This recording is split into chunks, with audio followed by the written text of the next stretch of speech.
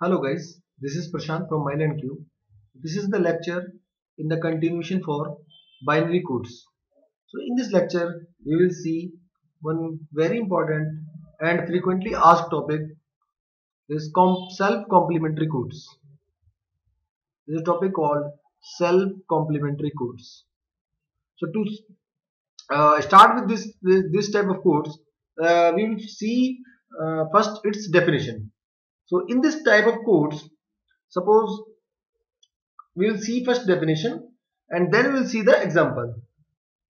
The code of nines complement of the digits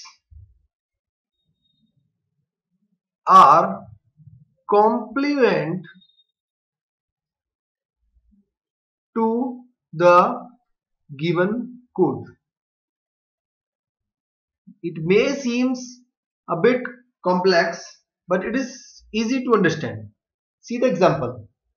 Suppose you have x and we have x based on some number system representation. It could be anything. Let's maybe 8421 code, 3321 code and like this. So we have some representation. We have some representation suppose this is the representation of x. Now if we flip the bits or digits in fact the bits or digit. If we flip these bits or digits then we will get now this if this number if this resultant resulting representation or resulting code represent nines complement of x represent nines complement of x then such such representation or such coding representation is called self-complementary code. This is the very simple self-complementary code. That means in very simple definition, eh, you have a number x. That is, this is represented. Suppose this is x. This is x. So, and it is built over some code 8421 and like this. Now, flipping 0 by 1 and 1 by 0, you will get some another code now if this code, if this is x and if this code represent 9's complement of x, that is in another language 9 minus x. 9 minus x means every digit of x subtracted by 9. This is the 9's complement of x. If this representation, this code represents 9's complement of x, then such codes are called self-complementary codes. You will see some example. Suppose based on 3, 3, 2, 1 coding system, I am writing 3. Suppose 3. How will I represent 3? This way. Now, writing this one, writing this one, flipping this 0, flipping this 0. Now, based on 3, 3, 2, 1, what is this code? 3 plus 3, 6. And which is actually the 9's complement. That means, if this is x, then this is what? 9 minus x. Hence, this system 3321 or you can say this code is self-complementary code. Self-complementary code. This is the definition of self-complementary code. So I am giving you this simple example. Now, before going into deep, let's see excess3 code. What are excess3 code? And why why we are we say excess3? Why we don't say excess4, excess5, excess6? So let's see the example. Now I am writing a table, a matrix 8421 code and this is excess 3 code. Let's see what is this 0, 1, 2, 3 and this way. So as you know this is 0, 0, 0, 0, 0, 0, 0, 1, 0, 0, 1, 0, 0, 0, 1, 1, 0, 1, 0, 0 and so on so forth. This is 4.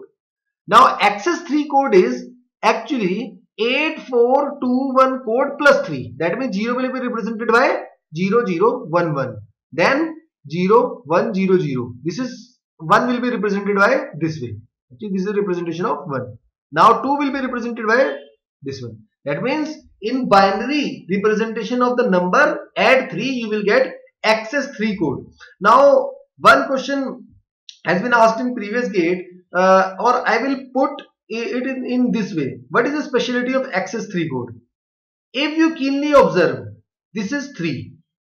this is 4 sorry sorry. This is 0 this is 1 in excess 3 this is 2 in excess 3 so from here you can see 0 0 1 1 plus 1 will give you this. Now 0 1 0 0 plus 1 will give you next number and we know such such code such code are called sequential code. Such code are called sequential code. So that means excess 3 code is sequential code. One more thing. Suppose i am representing a number in excess 3 let's suppose 342 i am representing 342 in excess 3 so how will i represent 3 0 1 1 0 4 0 1 1 1 2 0 1 0 1 now do its complementation. Do flip every single bit. 1 0 0 1 then 1 0 0 0 then 1 0 1 0 and what is it in excess 3 what it represents? It represents 6 in excess 3 it represents 5 in excess 3 it represents 7 and if you keenly observe if you take the ninth complement of this number you will get 7 here you will get 5 here you will get 6 which is nothing but exactly this number. Hence, from here we learn two concepts that excess 3 is self-complementary code also. Excess 3 is self-complementary code. So excess 3 code is the only code which is both self-complementary as well as your sequential code.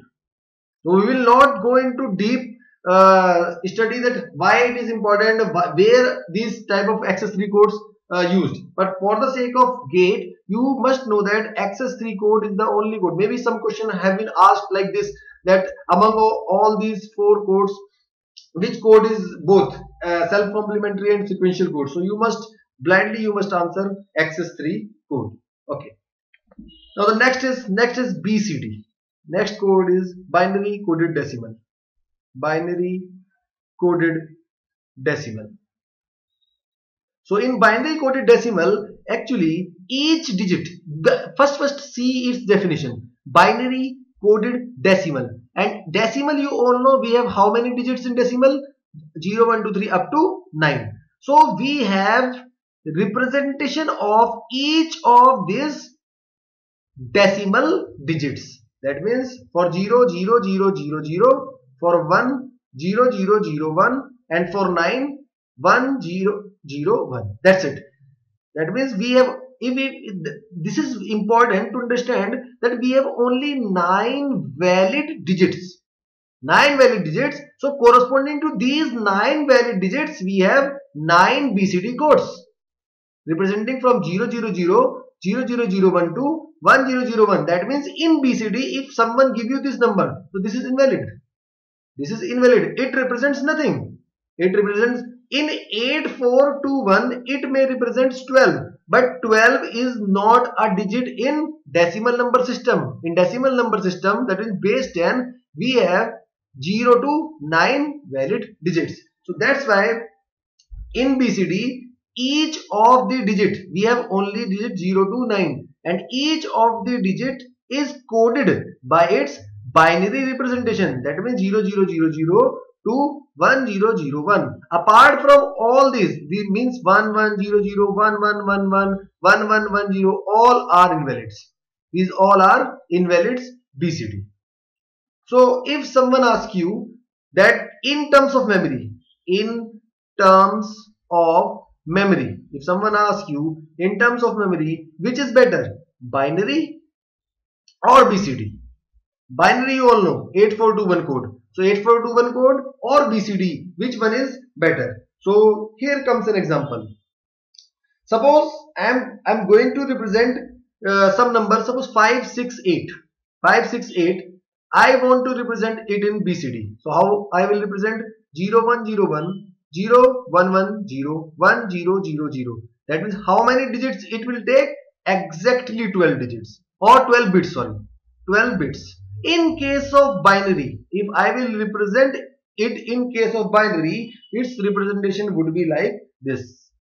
I have computed it a priori, you can compute. So it represents 568 which consumes 3 plus 3 plus 4 that is 10 bits. That means in terms of memory, if question has been asked this way, in terms of memory, which is better, binary or BCD, then you will clearly answer that binary takes less space as compared to your BCD number. Okay.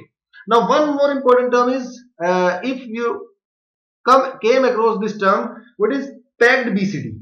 What is packed BCD? You know from digit 0, 1 to 9, you have represented this way 0, 0, 0, 0 0001 and to 91001. If you are representing BCD representation for number greater than 9, suppose you are you want to represent 56 in BCD, how will you represent?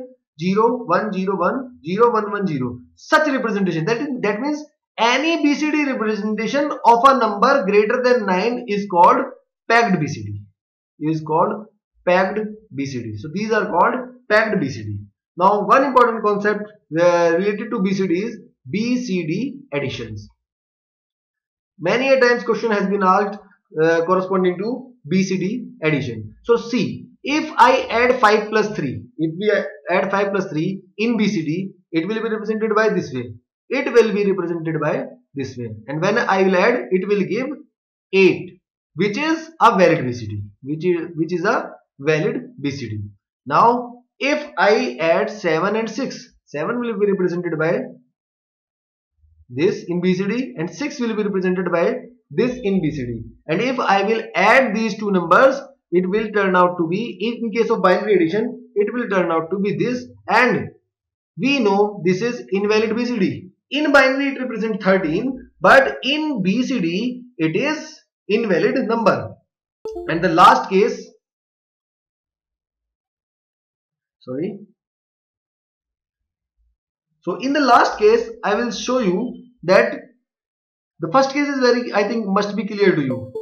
And uh, in this in the first case we have seen where all this BCD is valid. In the second case invalid. And the last case is uh, if I will add 9 and 8 suppose I am going to add 9 and 8 9 is represented by this one and 8 will be represented by this one. And if you will see it will turn out to be this. So this part represent a valid BCD but actually this whole whole number is representing 17 and in in BCD the corresponding representation of 17 would be 0001 and 01111 which is not sorry 0111 which is not equivalent to this hence it is also an invalid BCD it is also an invalid BCD. So there are two cases. If sum, if sum of A and B, we can say if sum of A and B is less than equals to 9, then it is your valid BCD addition, valid BCD. And in case of sum is great, now there, there are two cases. For invalid, there are two cases. If your sum is greater than 9, but no carry, but no carry. Then in that case and if sum is greater than 9, total sum is greater than 9 and there is a carry. There is a carry. So once carry is not there, carry is there. So basically all together is if sum is greater than 9 then it is invalid BCD. Then there is invalid BCD. So what to do in case of invalid BCD sum? Very simple thing is C 0, 1, 2, 3, 4, 5, 6, 7, 8, 9. We have these valid BCD from 0, 0, 0 to 0, 0, 0, 1 to 0, 0, 1, 0 and this will go to up to this G 1, 0, 0, 1. And again for 10, 11, 12, 13, 14, 15. These six representation are invalid numbers are invalid BCD. These are invalid BCD. Now suppose you want to add 6 and 7. 6 is 0, 1, 1, 0 and 7 is 0, 1, 1, 1. You want to add these two numbers in BCD. Actually it will give you 13.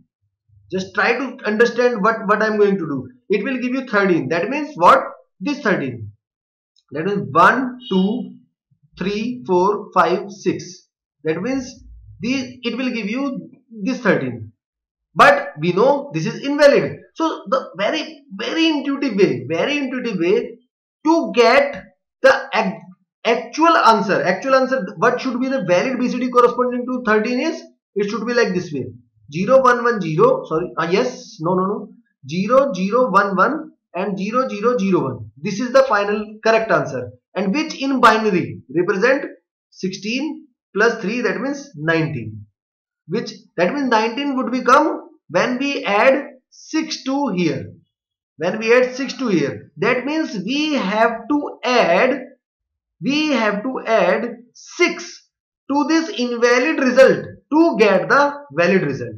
And why why 6 that because of these 6 invalid bcd numbers in between. That means we have to bypass we have to bypass these six numbers which are coming in between. That that gives us the final trick that whenever you get invalid BCD whenever you get invalid BCD sum just add 6 to the result.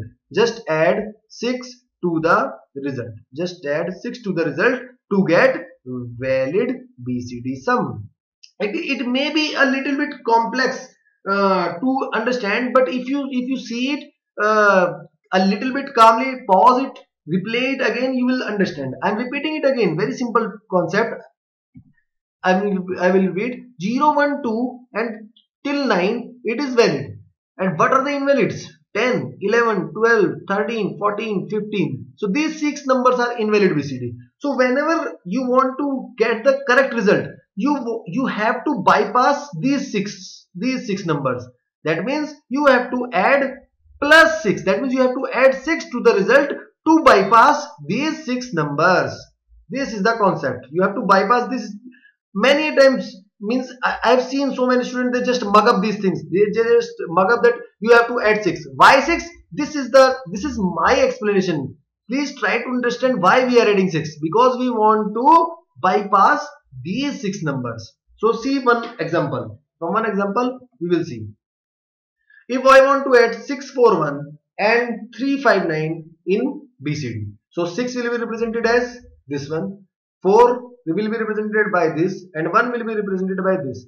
Again 3 will be represented by this, 5 will be represented by this and 9 will be represented by this. Start. When you will start, you will get 1010. Clearly, adding here, it will give you 1001. 1001 and here it will give you 1001 clear. Now the very simple thing is this is valid this is valid but this is invalid. It is representing in binary 10 which is invalid BCD so to get valid BCD you have to add 6 to this. I already told you what is the reason to add 6 to this when you will add 6 to this you will get 0 0 0 0 and 1 carry. There is 1 carry. And again. I have already told you whenever there is a carry there is a chance you get some invalid things. This carry will go here and you will get now 1010 here and 1001 again this is 9 good. This is 0 good. Now this is representing 10 which asks which asks you to add another 6 to get valid one so 0 0 0 0 this will give you 0 0 0 0 now here a carry will be generated which will go here. And here you will get 0 0 0 0 and 1 this is 1 and now it is 0 it represents 0 it represents 0 it represents 0 and it represents 1 0 0 0 1 0 0 0 0 0 0 0 0 0 actually what this number is representing this is 1 this is 0 this is 0 this is 0 and which is your correct answer 1000 in BCD. So this way you perform BCD addition. In next lecture we will see something about non-weighted code which is very important for the from the point of view gate and this is called gray code. By then keep learning. Thank you.